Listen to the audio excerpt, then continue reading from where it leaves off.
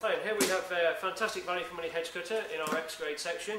It's brand spanking new, just tatty boxes. It's a GLHT 680.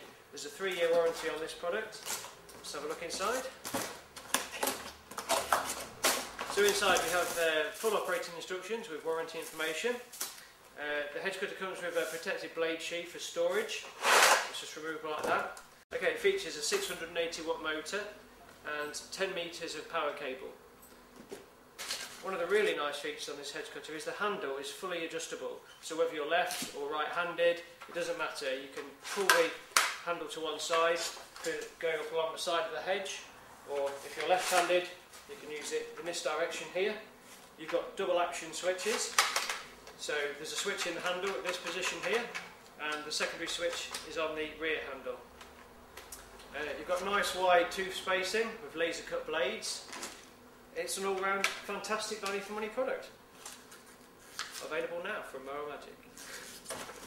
I don't know what to say.